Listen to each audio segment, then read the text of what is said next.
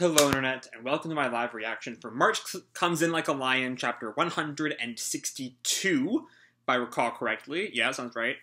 Uh, when we last left off, we cut from the uh, the dinner with the Kawamotos all the way to October. I'm not quite sure how long a time jump that was. I don't remember when we were uh, in the previous arc.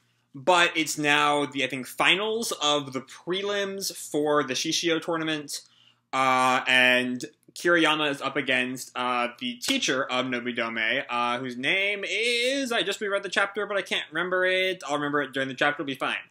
Uh, who's an old man, but is really good at changing up his playstyle, uh, which is not a common thing to do when you're in your fifties.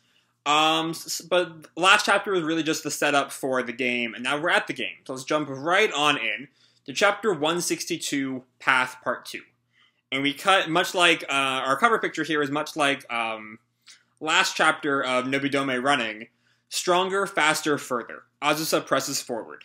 Running sort of makes your heart bounce, doesn't it? Nobidome Azusa. Um, so we jump right on into a man in the black suit who I might be the funeral guy. I don't quite remember. Um, hey Toku-chan, I think that's the uh, the shogi president. Uh, what's going on here? Oh, Saku-chan. Some match staff member asked me to please stand guard over this person. Uh, what happened, Name-chan? Apparently, he was doing research for his written commentary in Shogi World magazine. Excuse me, the players have been claiming they're having extraordinary difficulty, difficult time concentrating.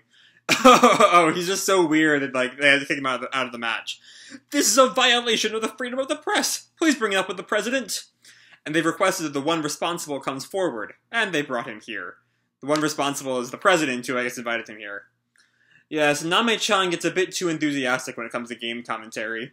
Uh, Name kind of like puts his hand over his mouth. As a lover of shogi, I cannot simply read records of the games. I must pay close, scrupulous attention to the players' expressions. That Name-chan, he's just got too much passion for other players. That passion is going to come to a boil and overflow soon, I'm certain. Yep, and I've got a good feeling it'll be too much for people in the middle of playing matches to handle. Something like that. Uh, I'm assuming this is like a vision of what how things are going to be of Name like peering in through the open door as the players are like shocked. Yes, indeed, I can see how the players reacted. Well, how about some tea? It's three o'clock. So, whose match were you researching today? Uh, Name like turns to him excited.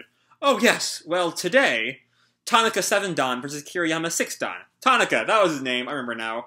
Uh, the finals of the Shishio Championship Group Four.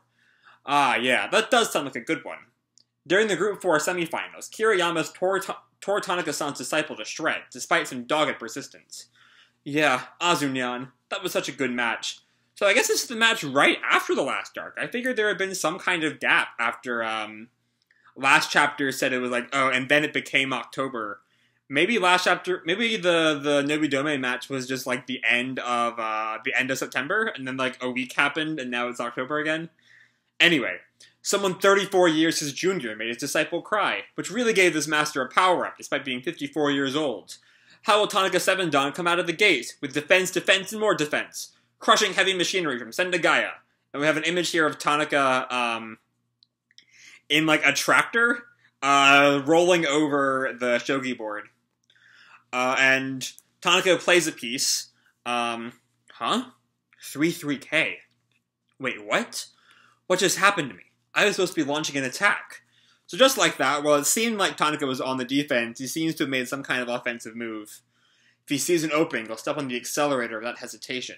It's a Kaku exchange, and I'm Sentei. I figured that if I jumped the K and came at him from above, then even Tanaka-san's defense couldn't withstand it. That's just how games work out when you do a Kaku exchange. This was supposed to be something I'd researched and planned for. This were the old Tanaka-san I was up against, his defense against this Kaku would have been would have for sure been a 2-2 Gyoku head-on defense. That would have been difficult enough to respond to in its own right, but if I'd kept up my attack from above, it should have overcome him, overcome him in the end. But now... Er, no, wait. What do I do? What's the move here? How do I weather this attack? Did I even show an opening in the first place?